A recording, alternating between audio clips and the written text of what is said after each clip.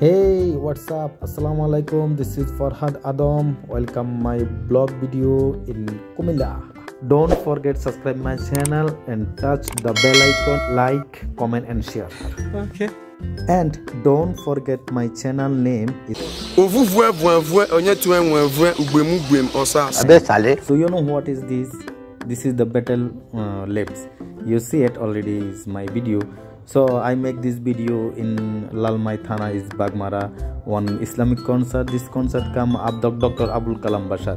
So i join this uh, concert and i go. I don't know i'm sorry for say concert this mean bangla was so i join go there and i see this is interesting and he make a betel nut is so beautiful. You see lot of color and lot of thing.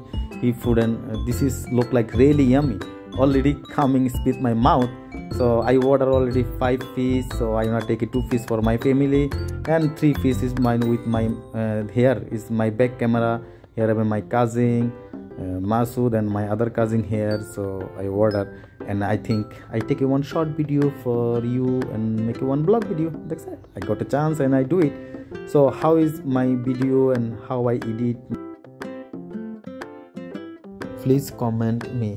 Okay so come to the point. I want to talk about the battle lips. So battle lips is the one of the most popular food in bangladesh. Only for asia.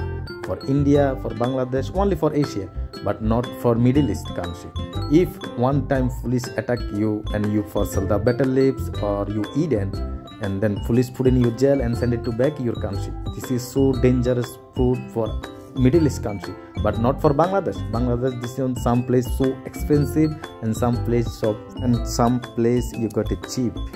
Guys if you like my video and please don't forget share my video. and I don't have a good camera even I don't buy microphone. That's why my camera frozen and my voice like terrible.